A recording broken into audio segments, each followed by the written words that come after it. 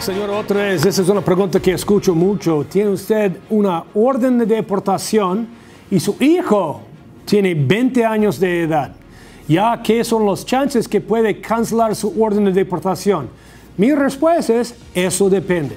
Si su orden de deportación es por no aparecer en su audiencia, su caso es muy duro, dependiendo en la razón que no fue a su audiencia.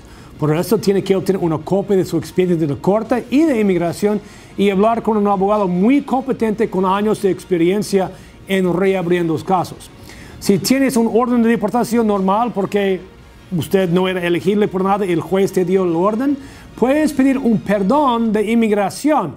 Pero si usted entró al país indocumentado, su hijo no lo va a poder ayudar porque usted tendría que salir del país para usar la aplicación de su hijo y al momento que sales del país tendrás una prohibición, aún con el perdón por la deportación, tendrás la prohibición de 10 años por su tiempo indocumentado y esto no es perdonable por medio de un niño, solamente por padres y esposos que son ciudadanos o residentes.